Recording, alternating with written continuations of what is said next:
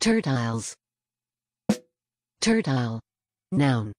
Plural tertiles, any of the two points that divide an ordered distribution into three parts.